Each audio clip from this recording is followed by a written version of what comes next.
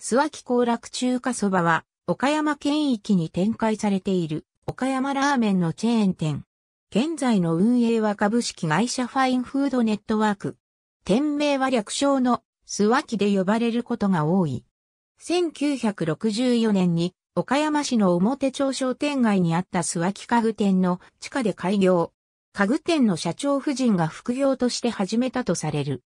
その味が評判となり、市内や郊外に次々と支店を出すようになり、さらにはフランチャイズ方式を取り入れて一時は岡山県下でも知られるラーメンチェーンとなった。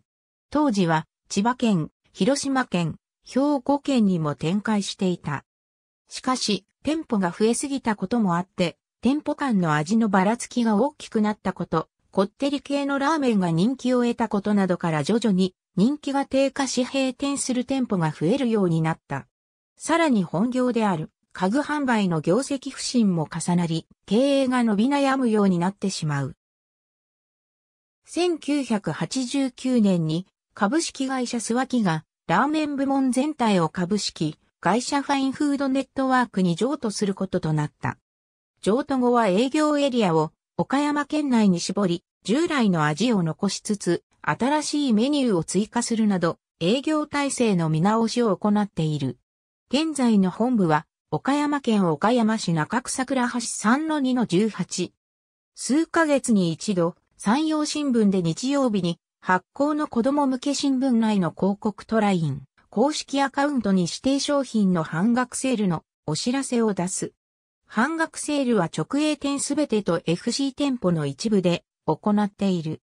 半額セールの日は、半額セール対象の商品しか店舗では調理されず、他の商品は調理休止する。半額セールの日は、下、中野店など駐車場が狭い店舗の場合は、近隣の大型駐車場がある店舗にお願いして、駐車場を使わせてもらえるようにしてある。醤油ラーメン左上隅に見られるものが小梅、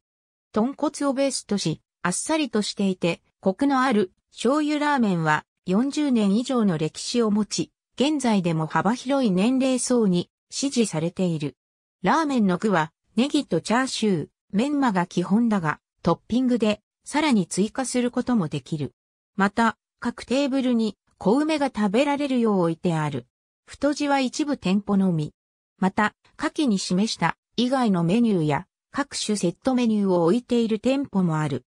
特に株式会社スワキ時代から契約を続けている一部フランチャイズ店舗の中には、現在でも株式会社スワキ機下時代の旧メニューで営業を続けている店舗も存在する。なお、それに該当する店舗では、非トッピングメニューでの提供となるため、トッピングメニュー及び替え玉製が存在しない。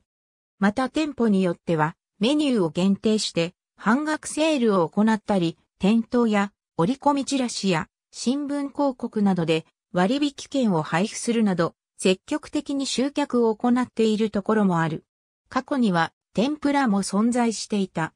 詳細は公式サイトの店舗情報を参照ファインフードネットワークに関するカテゴリー。ありがとうございます。